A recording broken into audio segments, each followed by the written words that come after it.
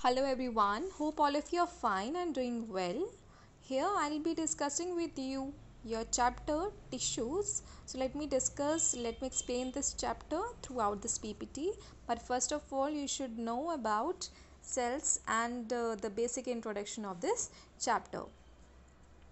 As you know, all the living organisms, they are made up of cells. And in the previous chapter, we have studied about the cell and th that cell is the functional and structural unit of life. Cell is the fundamental and structural unit of an organism. So, on the basis of the, those cells, we have mainly two types of organisms. We have unicellular organisms and we have multicellular organisms. So, if we talk about your unicellular organisms like amoeba, parameciums, they are made up of single cell and in those organisms single cell perform all the basic functions all the basic activities like movement intake of food digestion respiration excretion reproduction etc and whereas if you talk about uh, multicellular organisms they are made up of number of cells they are made up of millions of cells fine.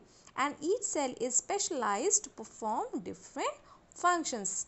Therefore they show division of labor so you can define what is division of labor division of labor in human in, a, in any body in, in the body of any multicellular organisms means specialization of cells and their grouping with each specialized group of cells. Fine? So if, if for example in any in animal body uh, muscle cells perform uh, different function a function of movement of body nerve cell helps in the conduction of messages whereas uh, blood cells helps in the transportation of material throughout the body. In the similar manner if you talk about uh, plant cells uh, if you talk about plant category cells of phloem conduct food from leaves to other part of the body.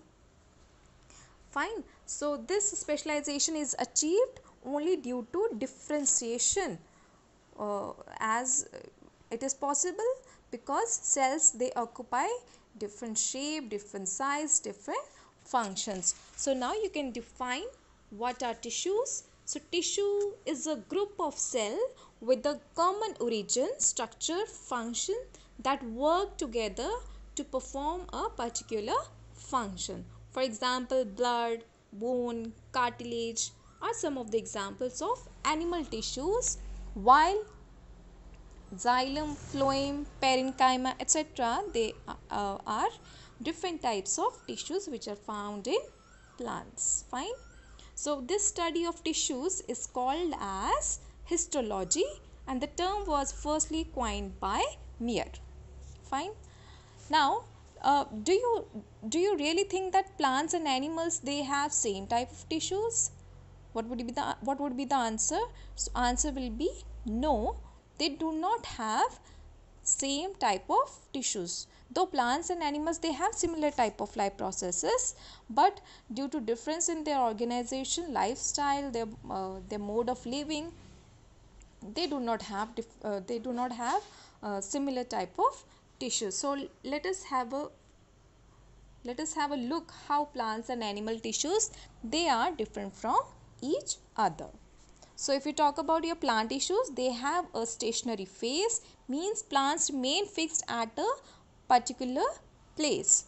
Fine. And whereas your uh, animal tissues, they have locomotive phase. Uh, locomotive phase means animals are mobile. They have to move in search of food, in search of shelter. Hence, most of their tissues are living also. So, you can correct the spelling of locomotive. It is L-O-C-O M-O-T-I-V-E, locomotive. Fine. It is just a, I misspelled it. You can correct the spelling of locomotive. Uh, next is your uh, plant tissues. They do not require lot of energy. Why they do not require lot of energy? They, they require less energy because most of the plant tissues they are dead. Fine. And uh, uh, animal cells they require lot of energy because most of the tissues in plants sorry in animals they are living.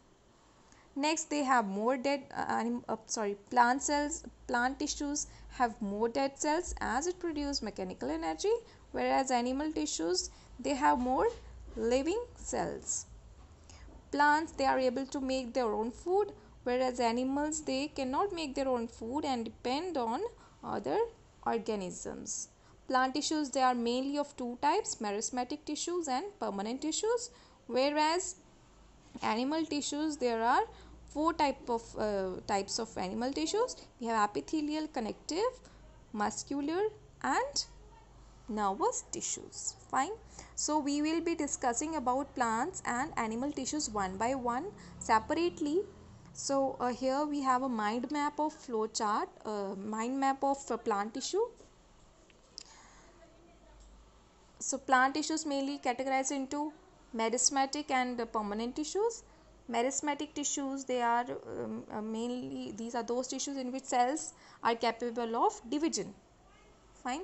So uh, whereas permanent tissues are those in which cells they do not uh, divide. They the cells they are not capable of division. Meristematic tissues they are categorized further as apical tissues intercalary tissues and lateral tissues. Whereas permanent tissues they are further categorized as simple tissues and complex tissues. Simple tissues they are uh, further divided into parenchyma, collenchyma and sclerenchyma. Whereas complex tissues they are categorized as xylem and phloem. Fine. So we will be discussing about all these tissues, their functions one by one uh, separately. And uh, one thing more I would like to just share with you that you know uh, the biggest organ within the human body is liver whereas the largest organ is skin. So, so remember uh, the biggest organ within the human body is liver whereas the largest organ is skin. Fine. So this is also one of the very important chapter tissues to study the organization organization of uh, of any uh, uh organism just to study by studying these tissues their types their functions we'll be able to understand that how living organism they are organized fine so we have different levels of organization in the living body. Uh, uh, firstly we have cell from cell we, it become tissues and a group of cells form tissues then tissues combine to form organ organ combines to form uh, organ system and ultimately organ system combines to form an full fledged organism. Fine. So this is all about for your today's topic. Next uh, the explanation of plant tissues we'll be discussing in the next ppt